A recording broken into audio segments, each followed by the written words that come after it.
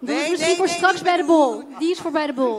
die is bij, oké, die is bij de borrel. Wiert, ben jij nog in staat om eh, hier iets over te zeggen? Over deze stelling. Ja. Uh, nou ja, je ziet al overal in Europa hoezeer immigratie een aanslag is op de identiteit van die landen. Um, de, de, immigratiegolf in 2015 in Duitsland met meer dan een miljoen uh, nieuwkomers. Die heeft uiteindelijk uh, ertoe geleid dat Duitsland deels nu in politieke chaos is, omdat de um, autoriteit van Angela Merkel zwaar aangetast. De SPD zit nog op 16% en de AFD, wat daar dus zeg maar kruising is tussen PVV en Vorm van Democratie, die zijn nu bijna de tweede partij. En dat is rechtstreeks terug te voeren op die immigratie, die gewoon ontzettend veel problemen heeft opgeleverd in die samenleving. Dus dan kun je zeggen, ja, we moeten al die mensen binnenlaten. De, prima, maar dan zijn dit de, de, gevolgen. En dan is het een politieke keuze of je dit wilt accepteren of niet. Ik zou zeggen nee, want het is uh, buitengewoon um, gevaarlijk als zo'n partij als de AFD, die ook voor een deel gewoon na nazistisch is, als die zo groot wordt, zeker in een land als Duitsland, wat heel snel instabiel kan um, raken. En je ziet het ook in, in, in Frankrijk en elders. Dus immigratie is, is juist een heel erg heikel thema.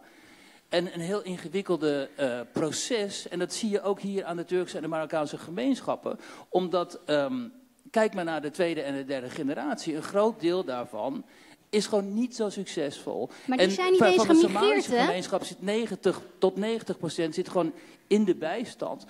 De, ja, tot 80, 90 procent van de Somaliërs, dat zijn even de cijfers die, op, die jij inderdaad op, op paraat moet hebben, die zitten gewoon in de bijstand. Nou, wat moet je daar dan mee? Maar niet succesvol, wacht even. Bedoel, uh, wat bedoel je met niet succesvol? Als je kijkt naar de Turkse gemeenschap, uh, we hebben heel veel ondernemers. Vind je dat dan niet succesvol? Ja, we hebben, en er zijn ook heel veel, natuurlijk zijn er heel veel Ja, maar waarom zijn ze- succesvolle maar waarom? Marokkanen en Turken. Maar, als je, Maar je dus- zegt het zo Als zwart-wit. je overal de cijfers ziet, dan is er gewoon een probleem met opleiding, met, Als je de eh, cijfers met bekijkt van met scholing. aantal enzovoort. En dat zit ondernemers- nog tot in de tweede, derde generatie. Dus dat is een enorm lang proces voordat je uiteindelijk op het niveau van de autochtonen zit. Dus waarom Ja, maar je geeft, geen, je, geeft, je geeft, maar Wiert, je geeft geen antwoord op mijn vraag. Wiert. Ben je nou aan het liegen, Wiert? Want dat Lees denken ze hier. Dat denken ze hier. Dat klinkt Van de alsof er totaal Somaliërs. geen laag opgeleide autochtonen zijn. De Ik heb nu juist... 80 Iedereen, ho, ho! Oh, Wiert, je- er wordt hier gezegd dat je leugenaar bent. Er wordt hier gezegd dat je een leugenaar bent. Je vertelt een leugen, Wiert. De bijstandscijfers voor De Somaliërs. waarheid, laat hem uitbreiden. Hij, hij, als hij uit zijn nek kletst, dan willen we het weer horen, toch? Dus ik zou zeggen dimmen.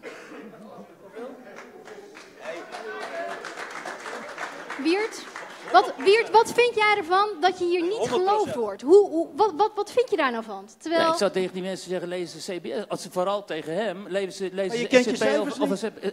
Maar je kent Wil de jij nou cijfers gaan niet. ontkennen Nou, dat, de bijstands, dat de werkloosheidscijfers onder, Nee. onder Somaliërs inten- immens hoog zijn? Nee, ik heb het. Rond jij de begint, 80% je begint, minstens. wacht even Weert. Jij doet iets wat je als journalist nooit zou mogen doen. Jij begint bij Oh, wacht Marokkanen, even. Turken, tweede, derde Richard, generatie. Richard, ik ga ingrijpen, want ik ben er, ik ga, we gaan het hier niet hebben over 1 tweetjes. Als jullie een discussie, als jullie, nee, hij wordt, hij wordt, oké, dag Farid. Dit, dit, dit, dit is dus integratie en dit heet discussie. Elkaar beschuldigen van leugens. En, oh, er wordt hier gezegd, kom terug. Farid, kom terug. Slaat niet Nee, voor mij hoeft het niet. Ik wil eigenlijk naar de zaal. Ik ben eigenlijk veel meer geïnteresseerd in de zaal. Daar zie ik een meneer. Als Farid ervoor kiest om niet mee te doen, dan moet hij dat zelf weten. Nee, doe even normaal. Ga zitten. Eh, jongens, hallo. Joe, dank u. Ehm. Jongens, ik, dit hele... Joe, dank u. Dit hele, dat, dat begrijp ik, maar ik wil wel gehoord worden. Dit debat zit enorm aan elkaar vast van platitudes, karikaturen, et cetera, et cetera. Volgens mij is één ding van volwassenheid om tenminste er te erkennen dat de andere persoon ergens een punt kan hebben en dat je misschien zelf ergens fout zit. Ik wil van Farid als ik kan horen wat de mogelijke risico's zijn van migratie en multiculturalisme. En ik wil van Wiert Duk horen bijvoorbeeld wat de positieve aspecten zijn van migratie en multiculturalisme. Kijken of we elkaar ergens in kunnen vinden, want zo komen we nergens. Ik heb nog één vraag aan jou. Jij hebt nog de illusie. Jij hebt nog de illusie dat we ergens kunnen komen. Eh, nou, eh, noem het dacht ik. naïviteit We misschien. moesten toch positief zijn? Dankjewel voor je jeugdige naïviteit. Farid, er wordt je om een antwoord gevraagd. Jazeker.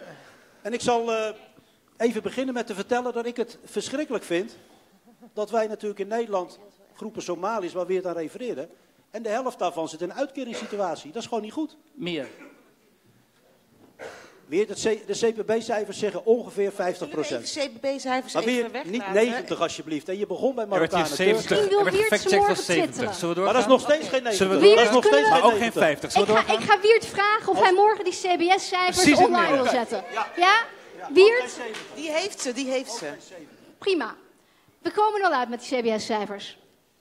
Waar het volgens mij om gaat, is dat we op basis van de feiten kijken wat er aan de hand is. En op basis daarvan met elkaar kijken welk beleid nodig is. Dus wat er nu gebeurt in de praktijk, is wij ontkomen er niet aan om ons eerlijke deel vanuit Europa mee te doen in het opnemen van vluchtelingen. We zijn er ook voor een deel de veroorzaker van. Dan kun je wel zeggen, ja, ik sluit mijn ogen. Die mensen die, die komen en die vluchten voor, eh, voor oorlogen, die hebben niks meer, alles is plat gebombardeerd. Jongens, we zijn Irak binnengevallen, heeft Nederland er meegedaan. Er zijn 700.000 mensen daar vermoord op basis van verkeerde aannames. Heeft Nederland er meegedaan. We hebben het gedestabiliseerd. En dan kunnen wij zeggen, ja, kijk, ik, zit, ik zal u eerlijk zeggen, ik zit ook niet te wachten op problemen. Het liefste deed ik een cappuccinootje, ik ging naar de Tweede Kamer, ik had een mooi debat, onder andere met Wiert. Er wordt aan die kant geschud. Er wordt geen antwoord wordt- gegeven op je Nee, er wordt wel vraag. antwoord gegeven. Waar we, Nee. naar, waar we naar moeten kijken is, we moeten onderkennen dat wij... We moeten onderkennen dat wij een verantwoordelijkheid hebben in die wereld. En we moeten ook leren van het verleden. En mensen de eerste dag zorgen dat ze meedoen, de taal leren. Zorgen dat ze zich nuttig maken. Dus we gaan geen uitkeringen uitdelen als mensen niet nuttig zijn in de samenleving. Mensen kunnen niet thuis zitten en, en daar geld voor ontvangen. En zo snel mogelijk meedoen in die samenleving. Ook Integratie we de regels is veranderen. Integratie is vooral even. meedoen. Ik zie heel veel mensen van de tweede, derde generatie dat doen. Ik zie ook een groep die achterblijft. Wil je het even afronden? Want Wiert moet ook Nou ja, nog ik denk antwoord dat je geven. daar een realistisch verhaal moet zijn. En dat Dankjewel. en dat- We zouden het toch hebben over de voordelen? Nee, er wordt, een vraag, er wordt een vraag gesteld uit het publiek. Ik zou graag willen dat er ook antwoord op wordt gegeven. Gaat dat lukken? Is er nog Over de positiviteit? voordelen van multiculturalisme. Of is er nog iets positiefs aan te verzinnen? Nou ja, kijk, er zijn heel veel succesverhalen eh, gewoon aan te wijzen. Ik bedoel, ik ken, ik, ik ken heel veel Marokkaanse, Turkse succesverhalen, dus daar is niks mis mee. Maar je moet je afvragen, wil je een multiculturele samen, samenleving, is dat nastrevenswaardig? Nou, gezien dat zelfs Angela Merkel heeft erkend dat de multiculturele samenleving gescheiterd is, dus mislukt is, is er niet iets dat we, dat we moeten nastreven. Nee, lijkt mij. Het is wel iets waar we mee te dealen hebben. En je ziet hier dus al in dit debatje, hoe moeilijk dat is. Omdat zelfs op basis van statistieken en cijfers en niet eens tot overeenstemming, consensus waar we mee begonnen, gekomen kan worden. Dat was vroeger dus, hè, ook, ondanks dat Thomas zegt, nee, vroeger lag ook iedereen met elkaar in de klins. Dat was toch anders. Dat was uiteindelijk aan de top van die zuilen werd een consensus gevonden omdat men een gemeenschappelijk belang, namelijk dat van Nederland diende. En het is in deze tijd heel sterk de vraag, en ik, sorry dat ik hem opwerp Farid, of sommige groepen in de Nederlandse samenleving nu aanwezig uiteindelijk het belang van Nederland op het oog hebben. En dat vind ik een hele belangrijke vraag. En dat zal cruciaal worden in de toekomst. En dan kunnen we het hebben over de succesverhalen zoals Yeshim en Farid is ook een succesverhaal. Noem ze allemaal maar op hier in de, zaal. Er zijn te grote groepen die zich niet verbonden voelen met Nederland en die uiteindelijk niet aan het belang van Nederland denken. En als je het weigert te onderkennen, als je het weigert beleid op te maken, als je maar blijft wegkijken, als je maar uit die Afrikaanderwijk wegkijkt, wat gewoon een klein Istanbul is, dan laat je de problemen, stapel je op en op wat en stel op. je dan En dan voor, Wiert? 30 Wat stel je voor? Is die samenleving verkruimeld. Mag ik even vragen, wat, wat, wat is jouw Dat oplossing vind ik een dan? goede vraag. Weet je, wat stel je de, voor? De oplossing is helaas... Want jij kijkt ja, ook best wel de negatief. Wat stel je voor? De oplossingen zijn helaas heel on-Nederlands, omdat Nou? Nederlanders gewend zijn om te dealen en te ja, dealen. wat, ja? De oplossing is, als je met deze groepen wil omgaan, om veel strenger te zijn, veel strikter te zijn, veel duidelijkere grenzen te zijn. Ook gaan nadenken over buitengewoon onderwijs. Moeten we dat nog wel accepteren, omdat islamitische scholen nu eenmaal hè, is gebleken eh, Ja. zeer geïsoleerd eh, de, de kinderen opvoeden. Dus je moet allerlei regels gaan handhaven. Ja. Nederlanders handhaven ook veel Maar te vind weinig. je niet dat, dan, dat we een klassenprobleem hebben? Want je hebt het weer over eh, de, de islam. heb Nee, je het weer deels- over. Want het heeft toch ook te maken, je hebt ook al die, de, je hebt over de ghetto-wijken. Waar Ja, dus heel, heel veel, eh, of de zwarte wijken, zwarte scholen. Maar dat heeft toch ook te maken met eh, laag opgeleid. Toen hier ja, de Turken ja. stonden op de brug, Ja. toen de Turken op de brug over Erdogan, Erdogan stonden te schreeuwen, toen kwamen ook Marokkaanse jongens bij. Die zeiden toen letterlijk tegen die jongens van Nieuwsuur, dit is geen Turkenprobleem meer, het is nu de Oema. Oké, en dat, Ja. dat is dus heel erg bedreigend. Dan is het geen klassenprobleem. Dan Maar is voel het jij dan bedreigd Voor- Dat, dat is dat heel moment, bedreigend ja. voor de toekomst van. Europa. Als deze jongeren zich eh, vertegenwoordigd voelen door de Oema en niet door Nederland of Frankrijk of Duitsland. En dat moeten Ja. we onderkennen en daar moeten we iets aan gaan doen. En mensen als, juist mensen als Farid daar, die moeten dat gaan onderkennen en die moeten daar wat aan gaan doen. Maar zolang jij blijft wegkijken en, en weigert de probleem met mij te bespreken, komen we helemaal nergens toe. Jishim, jij stelt de vraag, voel jij je